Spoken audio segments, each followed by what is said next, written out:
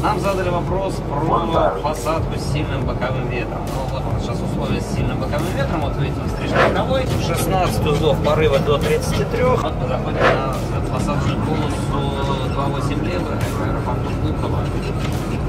Соответственно, вот нас немножко от